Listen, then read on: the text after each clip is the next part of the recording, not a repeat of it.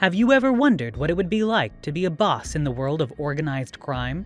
The story of Paul Big Paulie Castellano gives us an inside look at the rise and fall of a notorious mob boss. After being chosen as the new leader of the Gambino crime family, Castellano's reign was violent and brief, ending in his brutal murder in 1985. But who was Paul Castellano, and how did he become one of the most powerful crime bosses in New York City? In this video, we'll explore the brutal true story of Paul Big Paulie Castellano from his humble beginnings in Brooklyn to his rise to power and ultimate downfall. So buckle up and get ready for a wild ride through the criminal underworld. Paul Castellano, who was born in 1915 to Italian immigrants Giuseppe and Concetta, was raised in Bensonhurst, Brooklyn. He was born Constantino Paolo Castellano, but he frequently signed his name as C. Paul Castellano because he didn't like his first name. In addition to being a butcher, his father belonged to the Mangano crime family, which was the ancestor of the Gambino family. In order to assist his father in learning to butcher and collecting receipts for number games, Castellano dropped out of school in the 8th grade. He was first apprehended in 1934 for robbing a haberdasher, and after refusing to name his accomplices, he was given a three-month prison sentence. The mob loyalty Castellano developed as a result of this instance would stick with him throughout his criminal career. Castellano first became involved with the Mangano family in the 1940s, when Albert Anastasia, the boss of Vince Mangano's replacement, promoted him to capo. Castellano attended the Apalachin meeting in Apalachin, New York in 1957, following Anastasia's murder and Carlo Gambino's ascent to power. Castellano was arrested and imprisoned for a year on contempt charges after the New York State Police raided the meeting and demanded answers from the grand jury about it. In spite of this setback, Castellano persisted in expanding his commercial empire. He founded Dial Poultry, a poultry distribution company that supplied several supermarket chains in New York City using his butcher training, and he used intimidation to convince his clients to purchase Dow's goods. As the president of Scara-Mix Concrete Corporation, which had almost a monopoly on the sale of construction concrete in Staten Island, Castellano also benefited from the sale of concrete for construction.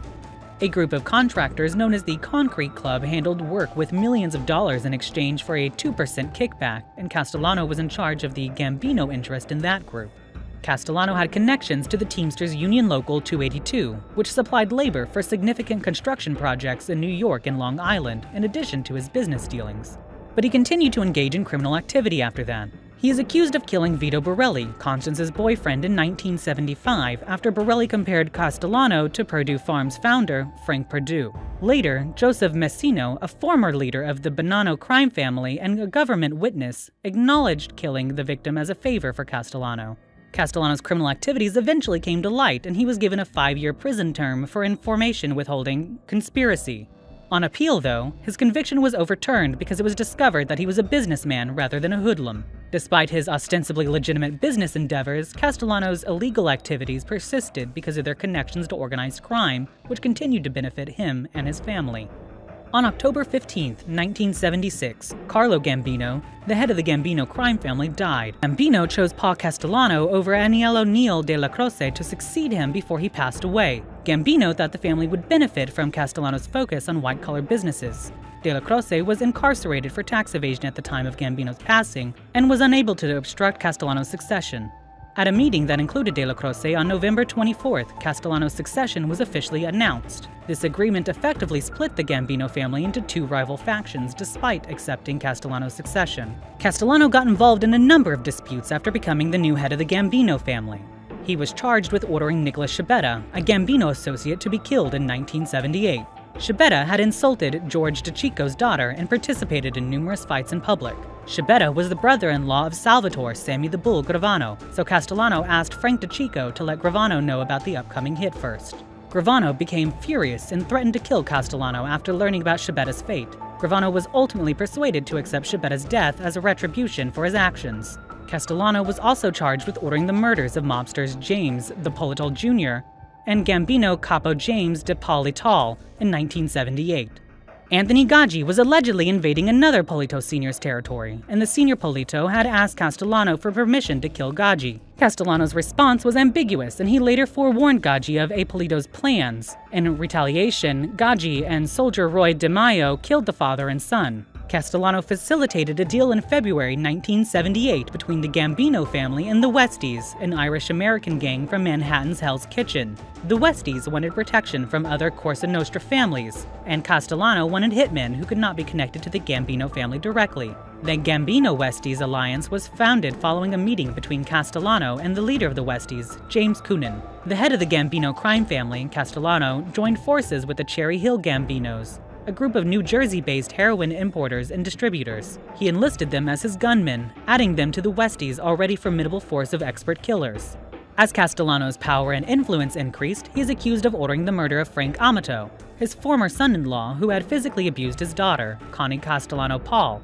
According to FBI records, the murder was carried out by Gambino soldier Roy DeMaio, who also dismembered the body and threw the pieces into the water. Compared to James Fila and Thomas Gambino, Castellano's predecessors, he had a different approach to leadership. Castellano turned into a recluse, rarely leaving his mansion, which he had built to resemble the White House. They had to go see him at Todt Hill to get orders and information. He entertained guests while working from home in velvet slippers and dressing gowns made of satin and silk. John Gotti, a former protege of Castellano, grew weary of his management, though. Castellano, in his opinion, lacked street cred and the respect of those who had made a living by working the streets and was too selfish and avaricious. Gotti and Castellano frequently argued over the share of the hijacking proceeds Gotti received at the Kennedy airport.